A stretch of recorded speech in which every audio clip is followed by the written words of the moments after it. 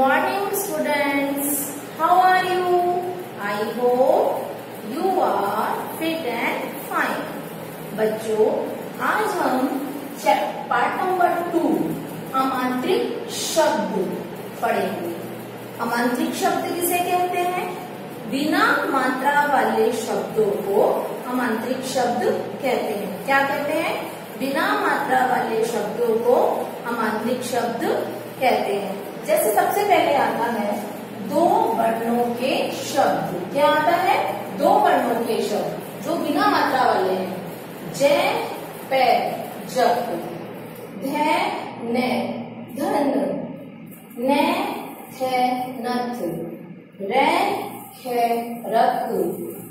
र, थ, रथ। च चढ़।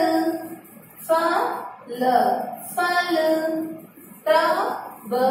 तब ये दो वर्णों के शब्द हैं। क्या है ये? दो वर्णों के शब्द। इसी तरह आपको ग्रह कार्य करना है। जैसे, जय, जमा ल जय ल जल। आपको ये वर्ण जोड़कर लिखने हैं। क्या लिखने हैं? जोड़ के। जैसे आपने भी यहाँ सीखा था। इसी तरह आपको यहाँ भी करना है। आपकी राइटिंग नीट क्लीन होनी चाहिए। ओके बच्चों? Have a nice day